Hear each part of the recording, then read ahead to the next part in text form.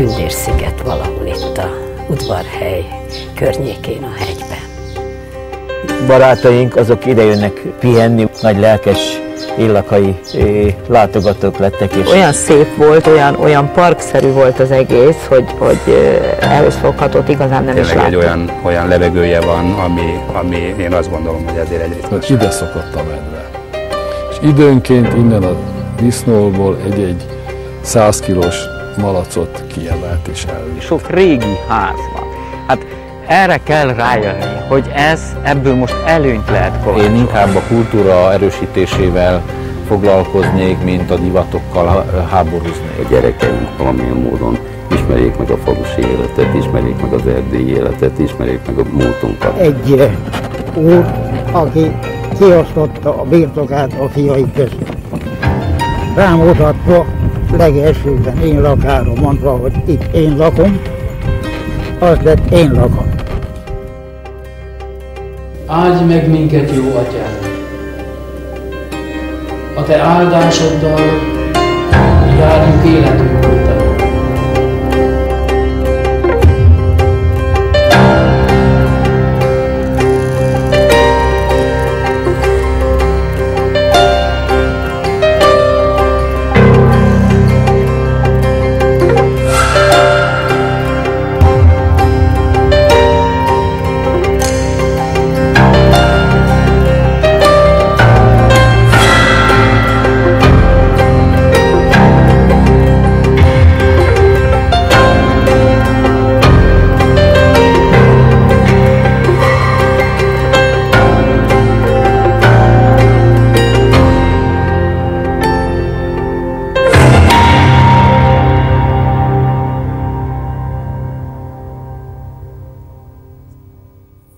Köszöntöm a szellem órájának nézőit Inlakáról, ebből a 200 lakos számláló erdélyi falucskából, amely korond és farkaslaka fölött a kalonda tető túlsó oldalában húzódik. 1993 óta a falucska Torockóval együtt a kulturális világörökség listájára szeretne felkerülni, és a vizsgálatok során minden szigorú elvárásnak meg tudott felelni. Én lakán az időszámításunk utáni első században a Limes vonalán itt volt a római birodalom határa, Castrum, vagyis római vár állt. A honfoglalás után kialakuló falucska ma is őrzi ősi szerkezetét. Például a népi építészet szempontjából igen jelentős 75 műemlékporta teljes egészében maradt ránk, a virágdíszes, festett kazettás templom székely róvásírást rejt magában. Jó pár üresen hagyott, gyönyörű parasztházat az utóbbi időben városi emberek vásároltak meg, sőt ennek hatására az elköltözöttek meg akarják tartani régi otthonukat. Műsorunkban ennek a folyamatnak járunk utána, bemutatva a házak régi és új tulajdonosait, de a környékbeli Firtosvárának és Lovának ősi mondájával is megismerkedhetnek.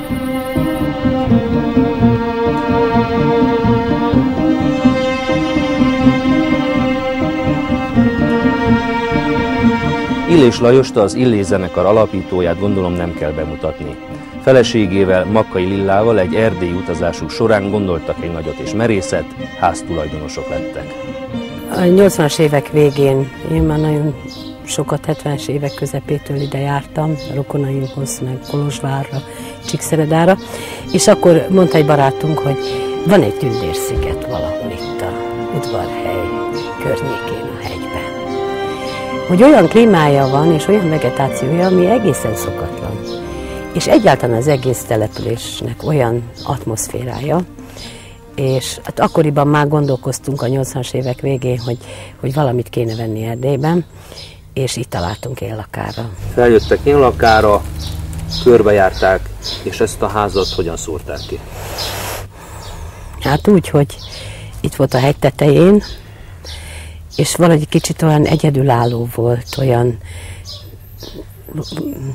szomszédok mondjuk ritkábban vannak körülötte is olyan, ugye a, a béke völgye, hegye, valahogy ez volt a benyomás, és azért ragaszkodtunk hozzá, pedig le akartak beszélni, hogy nem olyan nagyon jó ez a ház, nem érdemes megvenni, de azért ezt vettük. Hát majdnem összeomlott, úgyhogy majdnem 9-10 éves munkánkba került az, hogy, hogy álljon. Igaz, egy kicsit az egyik sarka az még egy olyan fél méterrel lejjebb van, mint ahogy kéne, de már megszoktak, jönnek a kedves vendégek be, és akkor úgy beesnek a, a házba, mert úgy arra felé lejti. De ezt már bele kell kalkulálni, itt nem, erre fele. A házat a bútorokkal együtt vették? Igen. Mikor megvette, akkor ezek a bútorok nagy részt itt találhatóak voltak. Rendbe tetette, vagy csak éppen ki kellett tisztítani? Inkább csak kitisztítottuk. Végső soron mi változtattak? Hát tulajdonképpen a nyári házból lett konyha és fürdőszoba, ugye? Mert hát azért a fürdőszoba azért, bár szégyeljük, de azért szükséges. és, és hát tulajdonképpen a, a 19. századi hangulathoz, mondjuk nem tartozik hozzá, de azért nagyon fontos része az életnek, hogy legyen fürdőszoba. Tulajdonképpen Angol semmi más nem változtattunk rajta. Nyári ház vagy részt leválasztani, és akkor oda ezt a vizes blokkot beraktuk, ennyit. Építettek egy kájhát. Igen, az unokaöcsém a Koskároly által írt erdészékei építészet és belső építészet könyvéből vette ki, ha nem pontosan ugyanezt, de két kájhának a motivumait rakta össze. És hát merjük állítani, hogy nem tájidegen, és nagyon szép, és kiváló kájha. Miért őrizte meg az ágyak a kényelmesek ezek? Hát lehet, hogy a mai embernek talán nem tűnik olyan kényelmesnek, de nekünk nagyon. Ha hiszi, ha nem, ö, szalmazsák van benne. És a szalmazsákot takartuk le egy-két takaróval, és azon alszunk. És rendkívül jó a deréknak, a tartásnak, és nagyon megszoktuk, és nagyon szeretjük. És ebből azt hiszem kiderült, hogy ezek a székely emberek alacsony termetűek voltak, mert mi se, mi, hál' Istennek mi se vagyunk óriásuk, nekünk még jó, de egy-két barátunk volt már itt, aki ugye a 180 körüli 190-es ember, aki nem fér ebbe az ágyba, úgyhogy a, a lá- lábát Lába egy-két napig próbálta el, elhelyezni, de aztán utána valahogy megtalálta, hogy jobbra Igen. rakta, fölrakta, beúszta. Igen, valóban ilyen, ilyen 170-es ágyak körülbelül. A budapesti ismerősei körében nem váltott ki döbbenetet, hogy itt házat vásároltak? Hát az igazság, hogy mi ezt nem igen nem. Szóval a, akik barátaink, azok idejönnek ö, pihenni ugyanúgy, és ugyanolyan ö, nagy lelkes éllakai ö, látogatók lettek, és az éllakai baráti körhöz tartoznak.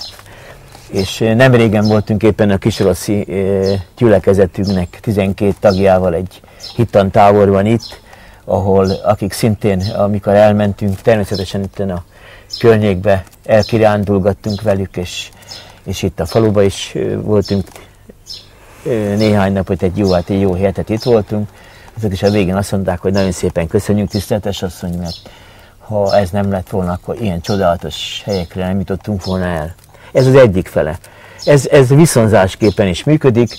Jövő héten 12 éllaki gyerek jön hozzánk az alapítványba, Kisarociba, meg, meghívtuk őket, ahol olyan társaságban lesznek, hogy a felvidékről, délvidékről, Kárpátaljáról, Amerikából és Nyugat-Európából lesznek fiatalok, és ezekkel lesznek ők együtt, és a magyar nyelvi kurzusunkon, úgyhogy ez a, ez a dolog így is működik, visszafelé is.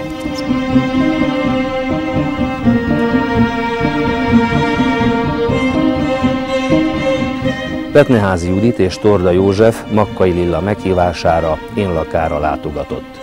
Annak dacára, hogy már rendelkeznek egy nyaralóval Kisorosziban, beleszerettek én lakába és a mögöttem látható házba, nem csodálom.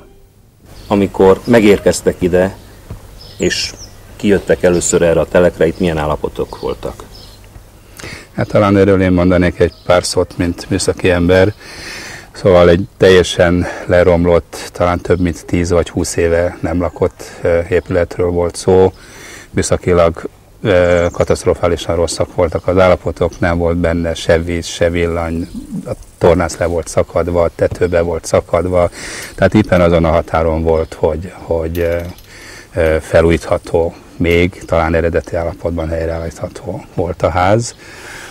Maga az udvar is teljesen el volt, el volt hanyagolva, viszont a környezete tényleg fantasztikusan szép volt, és maga a ház arányai és a mögötte lévő fák, a kertnek a, a szépsége tulajdonképpen az volt, amikor és szinte egyszerre mondtuk a nejemmel azt, hogy, hogy ezt meg kell próbálni megvenni. Nagyon nehéz döntés volt, hogy mit csináljunk, hogy egy rezervátumszerű házat, vagy egy lakóházat csináljunk ebből az egészből. Nekünk végül is a nejemmel úgy döntöttünk, hogy egy mai használatnak megfelelően az eredetiséget megtartva igyekezünk helyreállítani, ezért bevezettük a vizet, csatornát, villanyt, tehát gyakorlatilag én azt gondolom, hogy, hogy csináltunk egy fürdőszobát, az picit azért a mai ember életéhez én azt gondolom, hogy hozzátartozik, de úgy, hogy mindez úgy olyan mértékben rejtve marad, hogyha látjuk a házat, szerintem a ház eredetiségét is élvezhetjük. Hát csak annyira változtatunk, amennyire a leg életbe vágó volt, tehát semmivel többet, egy perccel se többet. A nagy tornác eredetileg is itt volt, a kiugró tornác? Ez teljesen, eh, teljesen így nézett ki a ház, tehát küllembét tekintve semmit nem változtattunk rajta. Zsalugáter is teljes egészében rajta volt.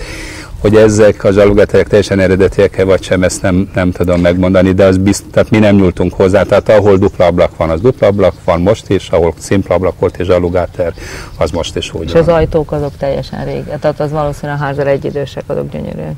Tornácát szeretik, tudjuk? Jaj, nagyon, nagyon, nagyon, mert rengeteg vendégünk is van, mindig ott ülünk, ott beszélgetünk. Tehát ez egy, az egy külön szob, gyakorlatilag ott lakunk. Egyébként az a másik, amiben bele szeretünk, nem csak a ház, hanem a kert. Mikor lementünk, és ez a lejtős telek, ugye lent a patak csobogás, mert ugye este az ember azt hallja, amikor ül kín a teraszon. Tehát olyan szép volt, olyan, olyan parkszerű volt az egész, hogy, hogy ehhez foghatót igazán nem is láttunk más házakat, ahol néztünk, és ez volt a másik ok, amiért ezt a házat vettük meg. Hátul a nagyobbik diófa hány száz éves lehet?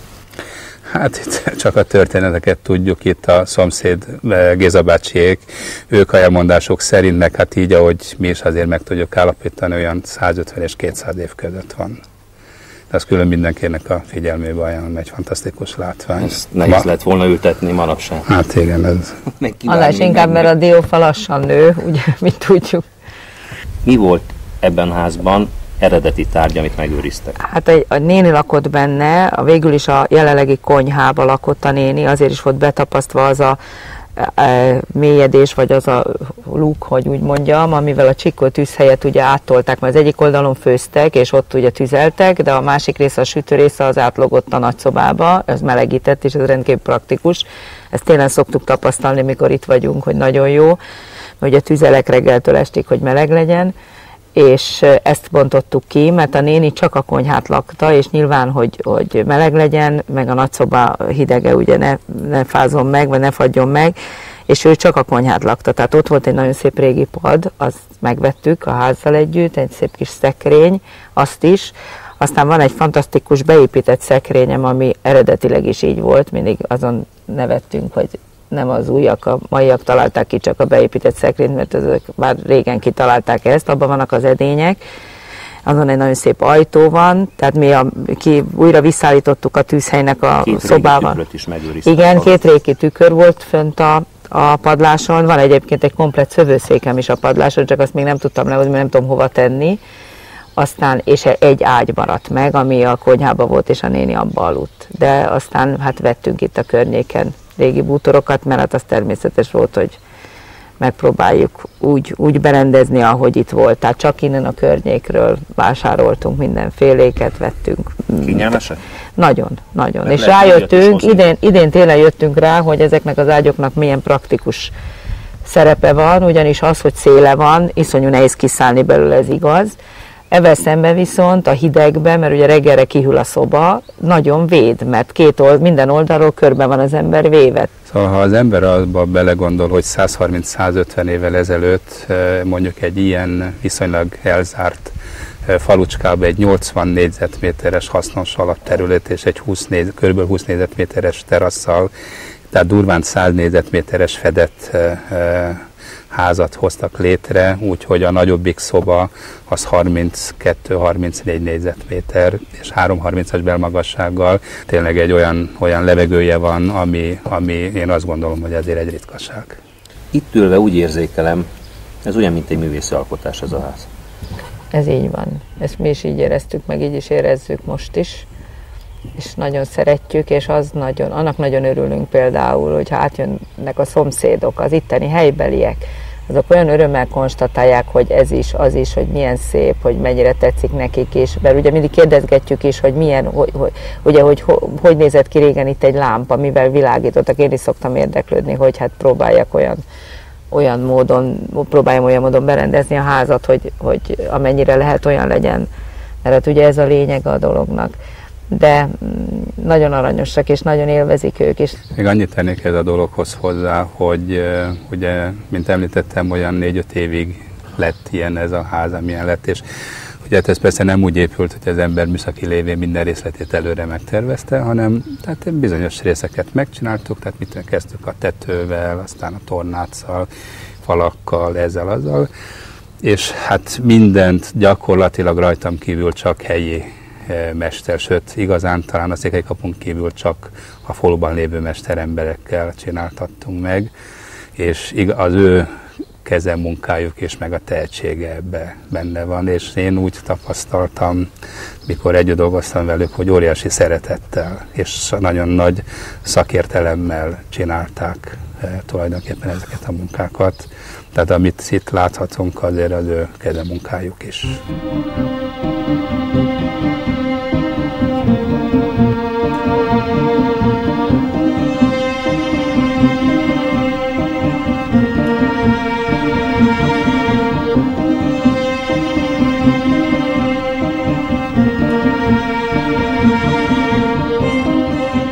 Farkas család először atyán szeretett volna házat venni, de végül a barátaik tordáig telként található másik ház lett az övék. A ház végül a volt TS épületével együtt 300 birkával egészült ki. Hogyan lett a jobboldali ház a Józsiéké, a baloldali ház a Lászlóéké? Hát ennek egyszerű története van, hát a jobboldali ház volt először eladó, ez már közel tíz éve lakatlan volt, és itt menet közben tudtuk meg, hogy hát a baloldali is eladás előtt áll, úgyhogy meg kell mondanom, hogy nekem a baloldali jobban tetszett, mert jobb állapotban volt. Hát természetesen rendbe kellett hozni, különösen rossz állapotban volt a, hát az itteni vakolat, ami tulajdonképpen egy tapasztás, és hát a tetőszerkezeten is volt bőven munka. Az ablakok gyönyörűek, eredetiek? Az ablakok eredetiek. László azon kívül, hogy vett egy gyönyörű házat, egy érdekes kísérletbe fogott, vett hány darab birkát? Vettünk egy pár évvel ezelőtt 300 anyajuhot, ugyanis a terület az állattenyésztésre alkalmas, és azt láttuk, hogy a TS felbomlása után itt jele, egy hatalmas területek vannak, tulajdonképpen kihasználatlanul. És hát ez adta az ötletet, hogy próbálkozzunk valami kis gazdasági vállalkozással is ebben a faluban. Megvették a TSZ épületének is egy részét. Igen, megvettünk egy viszonylag nagy istálót, azt rendbe hoztuk, ezen azért nagyon sok munka volt. Itt telelnek a birkák, kialakítottunk az istálóba egy, egy kis lakást, ahol a juhász családjával lakhat, és hát azóta ez a vállalkozás hát kisebb, nagyobb buktatókkal, de folyamatosan működik. Rögtön felmerül a kérdés, megéri rentábilis ez? Hát, ha a feleségemet hallgatom, akkor nyilván ő azt mondja, hogy nem. Én azt mondom, hogy, hogy mondjuk három év után eljutunk oda, hogy önfenntartó lesz a vállalkozás, és hát a következő években pedig hát szeretnénk szaporítani az állományt. De miért, mitől függ? Miért kell még három év? Hát ugye tulajdonképpen szeretnénk ugye a természetes szaporulattal növelni az állományt. Körülbelül 600 anyajuknál lesz ez egy gazdaságos vállalkozás.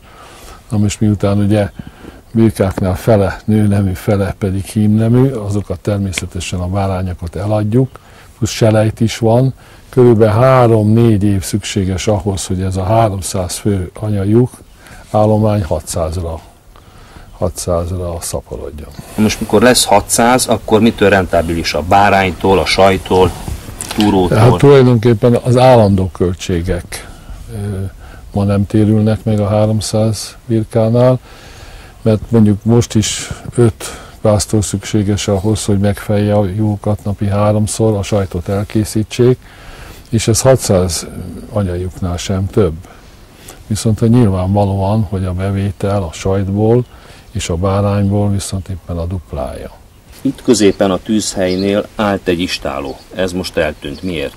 Így van, itt állt egy istáló, tulajdonképpen inkább disznóol, ami hát zavarta is a kilátást. Nem volt túl, túl jó állapotban, de azért nem ezért kellett elbontani, azért, mert ide szokott a medve. És időnként innen a disznóból egy-egy 100 kilós malacot kiemelt és elvitt. És ezt a, ezt, a, ezt a szomszédságot azért nem szeretjük. Elmondták, hogy ideköltözésünk előtt három évvel is elvitt egy disznót a medve, és hát ezt rendszeresen meglátogatta ezt a istálót, hogy van-e benne valami. Ez olyan volt, mint egy kaptár. Pontosan. Megnézte, van-e valami ennivaló. Így van, ha volt, vitt, ha nem, hát elkotródott. Így biztonságosabb. Most már ki lehet este is jönni. Így van, pontosan.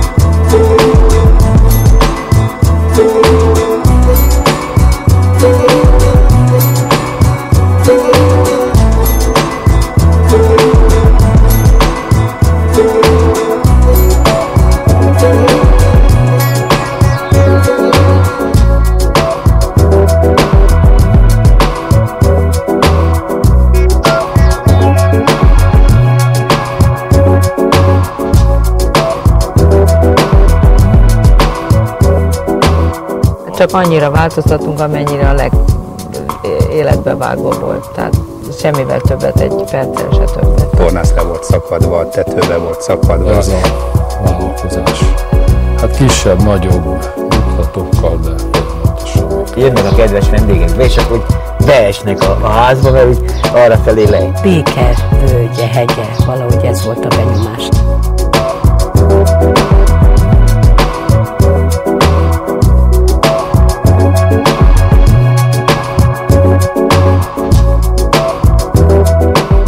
Albert Homonnai Márton az Énlaka építészeti programvezetője. Hogyan lehet egy ilyen tornácos parasztházat stílszerűen felújítani, illetve mire figyeljünk egy ilyen épület megvásárlásakor? Sajnos a, a, az általános szemlélet még mindig ott tart, hogy sokan azt mondják, főleg faluhelyen, hogy hát ami régi, az csak rossz lehet. Tehát van, van, van, egy, van egy ilyen szemlélet. Na most ebből tovább kellene lépni, és ami úgy tűnik ma, én lakán, hogy hátrány, hogy ennyi, so, ennyi sok régi ház van. Hát erre kell rájönni, hogy ez ebből most előnyt lehet kovácsolni. Akkor, amikor már a világ oda kezd fejlődni, hogy az emberek azt kezdik igényelni, hogy természetbarát környezetben élni. Egyre jobban jelennek meg ilyen-olyan tudósítások arról, hogy mit jelent a nem tudom milyen építőanyagban felhasznált anyagoknak a sugárzása, mit jelent az épületeknek a nem szellőzése, tehát a, mit jelent a vasbeton, milyen kozmikus sugárzások nak a bennem engedésére képesek az, az ilyen épületek, vagy mit jelent, mit jelent az, hogy, az, hogy úgy ébredjünk fel egy házban, egy épületben, reggel is, hogy nincsen légszomjunk, hogy a levegő nedvesség tartalma az nem ingadozik állandóan, hanem a, a természetes környezet, ez amiben az ember sok évezred alatt kifejlődött, tehát ahhoz áll közel. Ez a, azt nevezhetjük úgy, hogy ezek bióházak. Na most ez egyre jobban divatba jön. Na most akinek van ilyen háza, hát kellene éljen vele. És, és ismétlem, ezeket a mai igényeknek megfelelően át lehet alakítani, mindent szólhat a telefon benne, lehet vezetékes víz, villanyárom, telefon, internet, ha tetszik, bármi. Mikor te ki akarsz egy ilyen házat választani, nagyon sok esetben a pince kő alapja be van omolva, kicsit lelóg a ház egyik oldala, ezeket meg lehet még venni, meg lehet menteni? Természetes. Tudni kell, hogy fa szerkezetű épületeknél nem gond. E, ezeknek a faszerkezetű épületeknek nem is építette különösebben ö, nagy alapokat valamikor. Tehát az természetes dolog, hogy esetleg a, a kő lábazat megreped, nincs semmi gond, újra lehet rakni, még csak nem is szükséges mai ma használatos kötőanyagok használata, hanem a hagyományos, hagyományos módszerekkel is, akár agyag habarcs használatával is újra lehet falazni ezeket a falakat, egy kisé lemélyítve most már a, a fagypontnak a ha határáig, akkor semmiféle modern kötőanyag nem szükséges. Tehát semmi gondot nem okoznak. A felépítményeknél, tehát a, a fa részeknél, hát az köztudott és ma is alkalmazzák a falusi emberek, falusi ácsok, úgynevezett felnyílalnak faházakat, felemelik, ha kell, úgy, hogy lábakra állítják, és az alépítményt teljesen újraépítik. Tehát erre műszakilag van lehetőség, és tudják is az emberek a mindennapi gyakorlatba, a falusi építkezésbe. Ez, ez nem múlott ki ez a szakma. Kevesen tudják, hogy Budapest 5. kerületének testvértelepülése Énlaka. E kerület mintegy 3 millió forinttal támogatja Énlaka építészeti örökségének megóvását. De milyen egyéb gazdasági lehetőségek kínálkoznak-e két település együttműködésében? Az ötödik kerület az egy speciális önkormányzat, amelyiknek a választópolgárjéknak az összetétele azért eh, erős, erősen különbözik, mondjuk akár csak az itteni milliótől is, akár csak a budapesti átlagtól is. El tudok képzelni minden mellett olyan vállalkozásokat, mert az ötödik kerületben számtalan ilyen vállalkozás, mert hogy csak egyet mondjak, sose gondoltam volna, de kiderült az, hogy a a gombaszárítással, tehát az erdély gombaszárítással egy ötödik kerületi Nagy Ignát utcai KFT foglalkozik magam. Amikor vettem egyszer a boltba egy ilyen szárított gombát, arról vettem észre a címet. És azt gondolom, hogy Erdélybe gyökerei lehetnek, és ez később akkor, amikor az Eurórégió vagy az Európai Unióba be tudunk lépni, nem lesz majd lényegtelen. Azoknak a, a, a biotermelésnek a gyökeré meg a lehetőség itt még megvannak, mindent korlát nélkül. És ezt valahol, hogyha szembe tudjuk egymással futatni, abban abba pozitív dolog jöhet ki. Nekünk magyaroknak is, mert már mint hazai magyaroknak, mert hiszen közvetítünk, nyilván a, az ittenieknek is, hiszen azt a terméket árut, amit itt egyébként pedig az adottságok okán elő lehet állítani, vagy termelni lehet, azt el lehet adni e, Európába. És e, csak egyet mondjak, mondjuk a a cseresznyára, ha Magyarországon, Budapesten körülbelül mondjuk 300 forint per kiló volt idén. Ugyanezt Berlinben meg volt alkalmam ott lenni most a Nemzetek Napja alkalmából. Körülbelül 1500 forintért lehetséges értékesíteni, sokkal rosszabb minőségben. Na most innentől kezdve már csak utak kérdése, közlekedés kérdése, szállítások, ez rengeteg dolog, és nem megy egyik évről a másikra de, és, és mi nagyon rövid idő az, amit ebbe közre tudunk működni. De azt gondolom, hogy nem, nem, nem kerülhetjük ki a, a történelem segítését, mondjuk így. Mit támogatnak önök? Az épített örökségnek a védelmét és eredeti formában történő megőrzését. Ez nagyon hivatalosan hangzik, azt én tudom ez gyakorlatilag azt jelenti, hogy a népépítészetnek azokat az emlékeit, amik tipikusak és, és jellegzetesek, azt a település formát, a településen belül azt a telek kialakítása és életformát, ami több évszázados hagyományra tekint vissza, valamilyen módon eredeti formájában őrizzük meg, nem úgy, hogy konzerváljuk, hanem a mai igényeknek megfelelően a régit láttathassuk és használhassuk. Azt gondolom, hogy valamilyen módon ez egyfajta revitalizáció, ha úgy tetszik. A gazda konkrétan, ha ilyen-olyan formában újítja fel a házát, kapuját, akkor ezért kap valami pénzösszeget? Vagy miben nyilvánul meg egészen a legalsó lépcsőben mindez? Így van, szerződünk velük a saját portájának az eredeti állapotban történő följavításra. Tehát nem lehet az, hogy, hogy egy tornácot olyan módon alakítson ki, ami nem eredeti, vagy az ereszt úgy oldja meg, ami nem eredeti. Vagy kerítéseket cseréltünk ki, fémkerítéseket eredeti formájú fakerítésre, vagy őriztünk meg olyan kapuzatokat, oszlopokat, amik több évszázadosak, és most már tényleg csak ritkaság számban van meg egy-egy belőlük.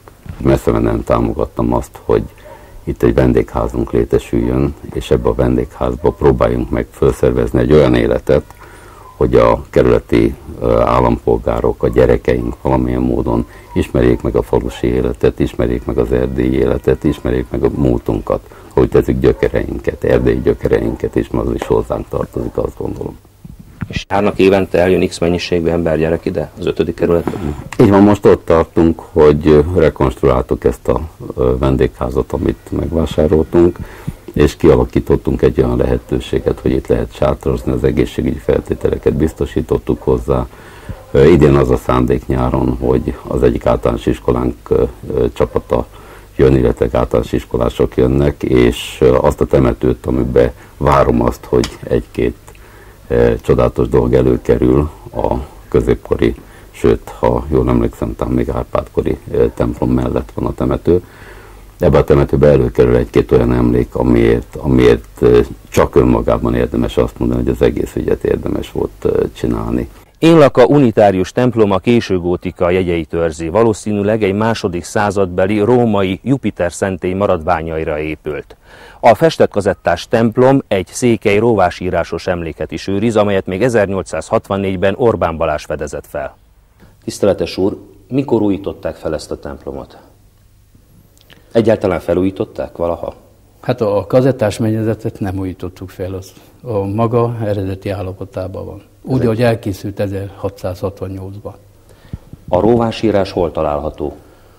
Az orgona csúcsánál levő kazettában az a kétsoros szöveg, az a híres ró, róvásírásos emlék, ami világhírűvé tette az élaki templomot, és 1668-ban írta fel Muzsnai György skólamester. Mit írt oda? Egy az Isten, ugye a, a Bibliából vett unitárius jelmondatot, egy az Isten és a saját nevét. És ez mit bizonyít? Ez az bizonyítja, hogy 1600-as években még használtuk a széke róvásírás betűit. Tehát azzal írtunk kultúrtörténeti szempontból nekünk, ugye a magyaroknak, óriási jelentőség is, és felbecsülhetetlen kincsünk, mert bizonyítja az, hogy nekünk megvolt a, a saját írás modorunk, ahogy Orbán Balázs írja a Székelyföld leírásában, hogy az a Hun Skita írásmodor, ami megtalálható és látható bárki számára megtekinthető. Nem kéne felújítani ezt a kazettás mennyezetet? Nincs veszélyben? Hát egyik fő gondunk, és nagyon-nagyon sürgető problémánk a felújítás.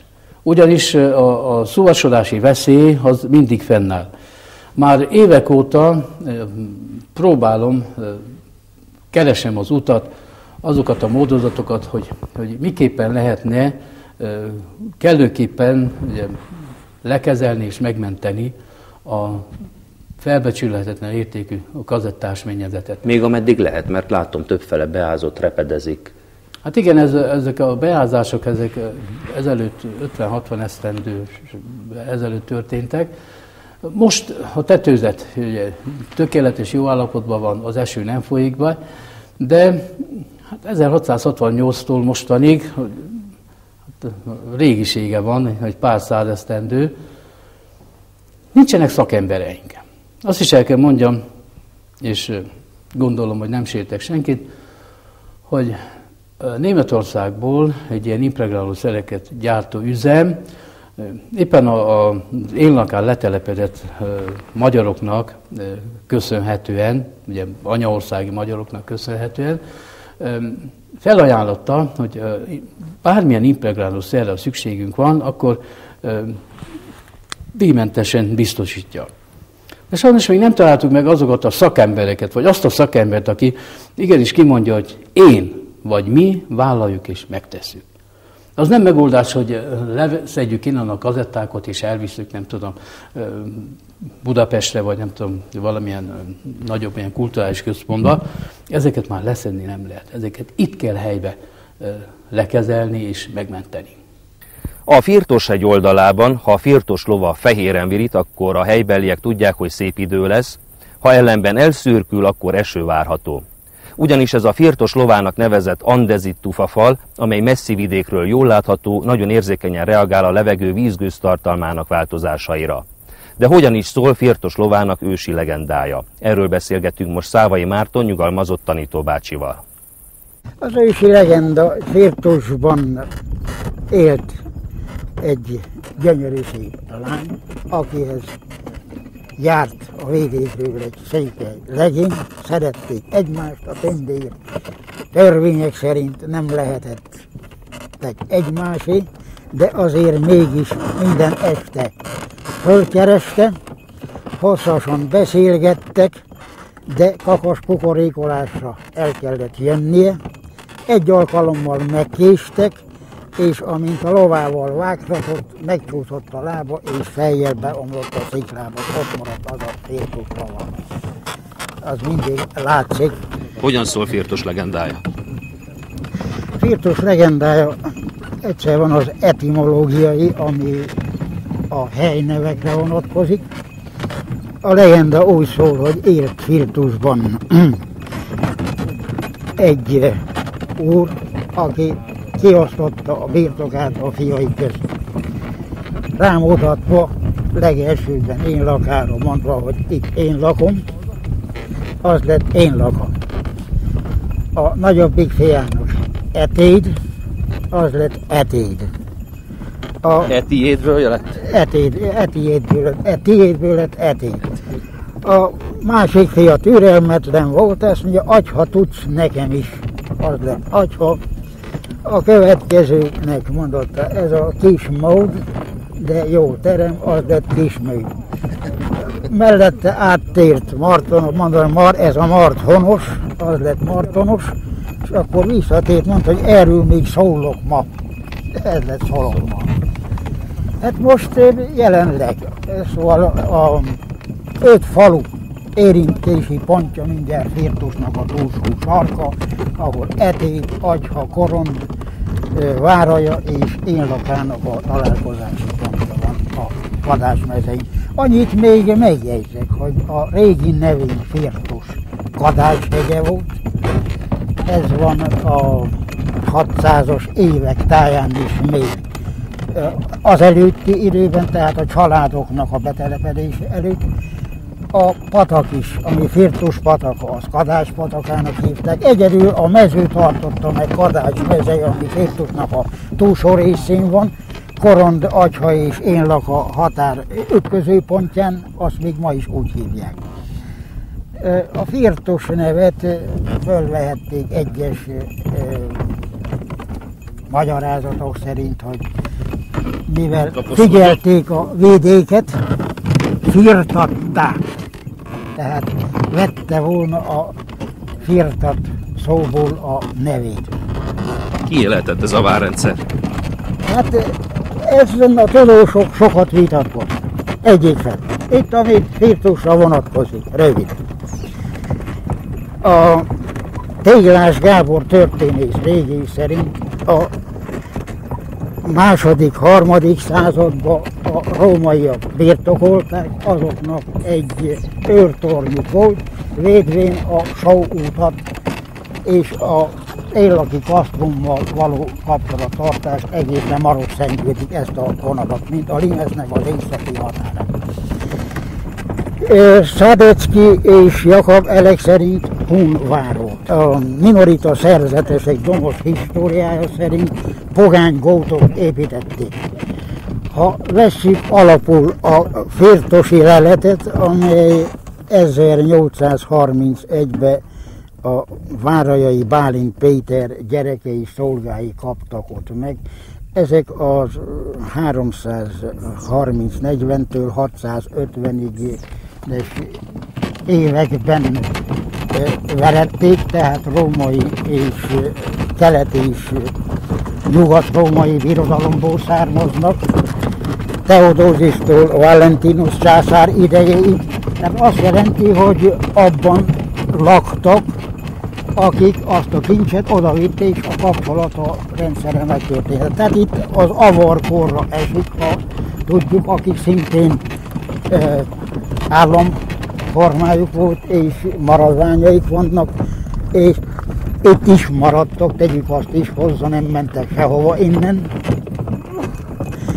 Utána a székelyeknek a betelepedésétől több mint ezer éven keresztül. Honfoglaláskor gyepű volt, birtos, rabsonni és tartód, nem? Igen. Hát a gyepű, gyepű És aztán mentek tovább állítólag a Csiki medencébe. Igen. Az anyaszék elfoglalása után, és ezeknek a váraknak a jelentősége megszűnt. Jól tudom? Végén megszűnt, és kezdetben a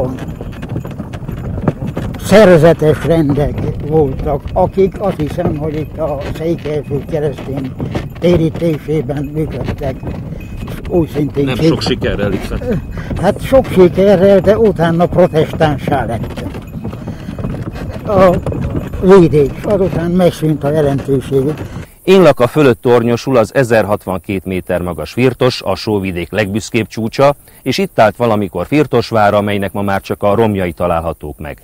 Orbán Balázs a következőket írt, amikor ide felérkezett. Minő bűvölet, minő látvány jutalmaz meg. Fél erdély terül el lábaink alatt. Egy csomó hullámzatos hegysor, melynek mint háborodott óceánnak megdermet hullámrétegei úgy terülnek el egymás követő, egymást átszelő párhuzamos láncolatokban. És a hegyek közt száz meg száz folyópataknak felragyogó ezüst szalagja.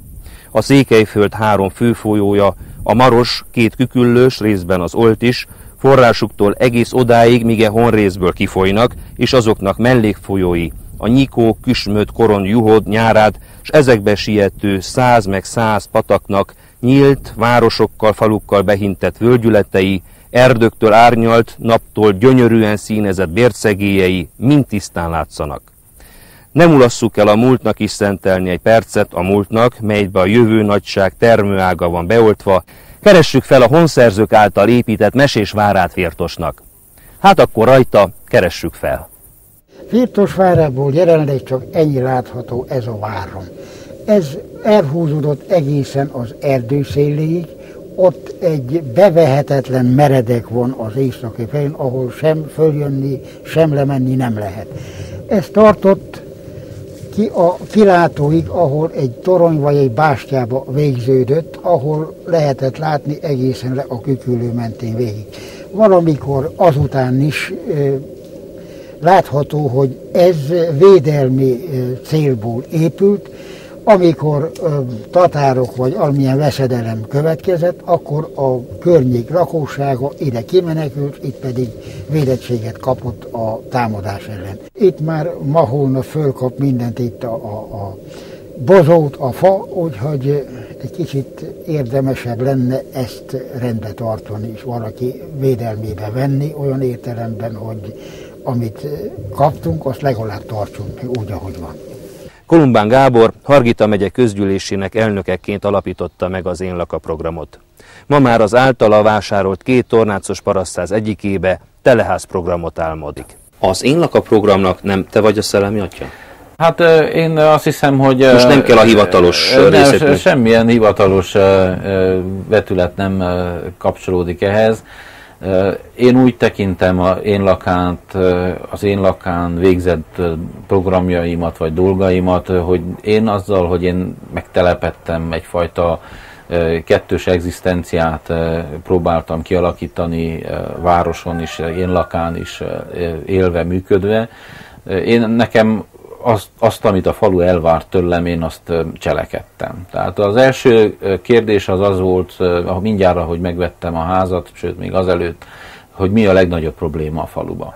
És akkor a faluban az volt éppen a gond, hogy megépítették a nagy víztárolózó medencét a TS számára. A TS-t azt felszámolták 90-ben, és többen megfogalmazták a faluba, hogy abból a tározóból el lehetne látni ivóvízzel a, a falut. A falu nekifogott és bevezette a vizet. Tehát ez egy óriási lépés volt, akkor még nem is mértük fel ennek a hosszú távú hatását.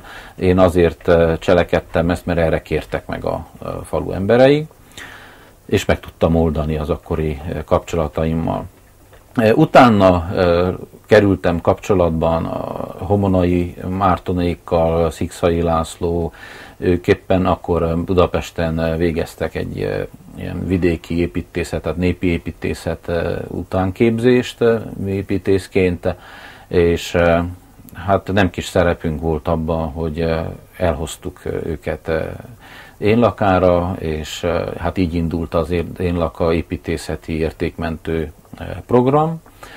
Közben teljesen függetlenül az én személyemtől indult az Operation Village Rumen kapcsolatban az Angliá, Angliában a Bodenhami falu ugye kiválasztotta én lakát így a térképre ránézve, mint támogatandó települést, és a tanító keresztül történt a felvétel. Én akkor léptem ebbe a programba be, amikor az első angliai látogatás készült én lakára. Szükség volt egy emberre, aki, aki tudott angolul, és akkor én fogadtam őket itten, beszélgettem el velük, elkísértem a faluba, és akkor kezdődött egy ilyen baráti kapcsolat a Peterrel, aki szakértőként, tehát mezőgazdasági szakértőként segítette a Bodenheimikat. Na most akkor fogalmazódott meg, tehát részben a, az én laka értékmentő program, részben pedig a, az angliai testvér program kapcsán fogalmazódott meg, hogy szükség van egy olyan jogi személyiségre, én lakán, egy alapítványra, ami az ideérkező segítőkész forrásokat fogadni képes. És így született meg a Pro Én Laka alapítvány. Utána négyen a faluból ellátogattak Angliába, most olyan állapotban vagyunk, hogy három futóprogramról tudunk beszélni, itt már az én szerepem csak egyfajta ilyen felügyelet, gesztorság. Mi ez a három program? Ez a három program a, a faluturizmus fejlesztési program, amit Dancsalpár irányít, a másik egy gyümölcs génbanknak a megteremtése, a hagyományos alma és szilva fajoknak a fajtáknak az átmentése, érdekében ezt a e, tanítóbácsi e, koordinálja, és sajnos itt egy kis késés volt a program indításában. A harmadik programunk az alapítványunk keretén belül e, szociális gondozási program, amit Kocs Verronka szervez. Ez a program most indul, hát olyan értelemben, hogy már egy éve kipróbáltuk, működik, igény van rá, az öregek háznál történő gondozásából áll, most próbáljuk felfuttatni olyan szintre, hogy ételkészítés, főzés, mosás, tehát egyéb típusú szolgáltatások is beleférjenek. Távlatilag számítunk arra, hogy az ősszel induló Szapárt program keretében termeléssel, foglalkozó programokat is tudunk eh, beindítani, tehát állattartás, illetve fafeldolgozás, bútorelemek eh, készítése. Töröm a fejem azon, hogy kellene egy olyan eh, teleház, szolgáltató házat létrehozni, ami be tudná kapcsolni a falut olyan távmunkát végző lehetőségeket nyújtva, könyvelés, cégek adminisztrálása, tehát kihozná ide azt a tudást, amiért ma, ma egy kis vállalkozónak be kell menni Székelyudvarhelyre vagy Keresztúrra. Ezeknek ma már van ilyen technológiai lehetősége, meg van az az infrastruktúra, kommunikációs lehetőség, ami ezt megengedi, és ilyen, ilyen irányba szeretnék tovább mozogni ez az a romos ház, ami most lesz újra felépítve. Ott hát, lesz ez a teleház. Igen, Ezt így, úgy kell szemlélni. Így, így, úgy kell szemlélni. Ez már az informatika világa épül oda. Én azt hiszem, hogy ha valami nem találja meg ma a hasznosságát a globalizálódó világban, akkor a nálánál hasznosabb és erősebb gazdasági versenyhelyzettel rendelkező dolgok egyszerűen elpusztítják, lehengerlik azt.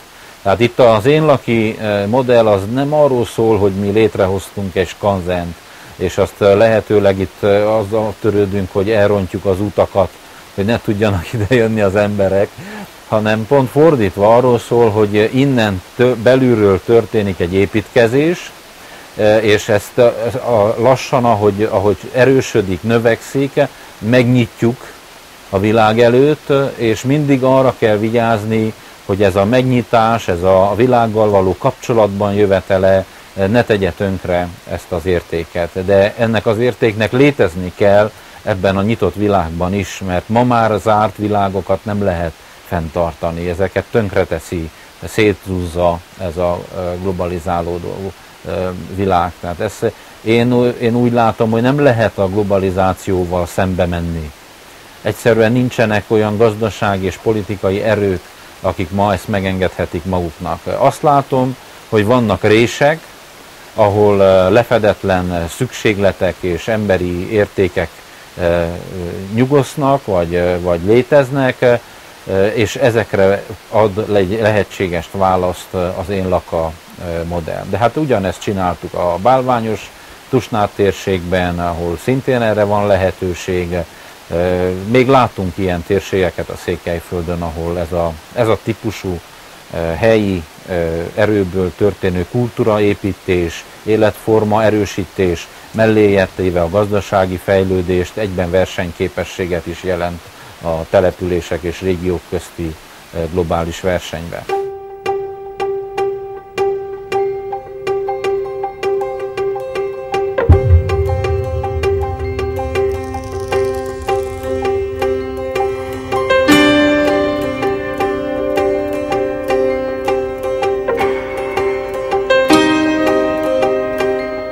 Van egy tündérsziget valahol itt a udvarhely környékén a hegyben. Barátaink azok idejönnek pihenni, nagy lelkes illakai látogatók lettek. És olyan szép volt, olyan, olyan parkszerű volt az egész, hogy, hogy ehhez foghatott igazán nem Tényleg is láttuk. egy olyan, olyan levegője van, ami, ami én azt gondolom, hogy ezért egy ritkaság. Hát ide szokott a medve. És időnként innen a disznóból egy-egy 100 kilós malacot kiemelt és Sok régi ház van.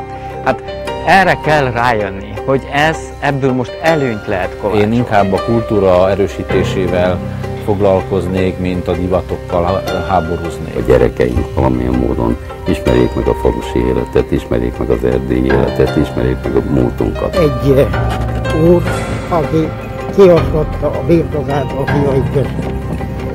Rámutatta legelsőben én lakára, mondva, hogy itt én lakom, az lett én lakom. Áldj meg minket, jó atyánk! A te áldásoddal járjuk életünk útait. Hát kisebb, nagyobb buktatókkal, de folyamatosan működik. jönnek a kedves vendégek be, és akkor úgy beesnek a, a házba, mert úgy arra felé lej. Béke, völgye, hegye, valahogy ez volt a benyomás.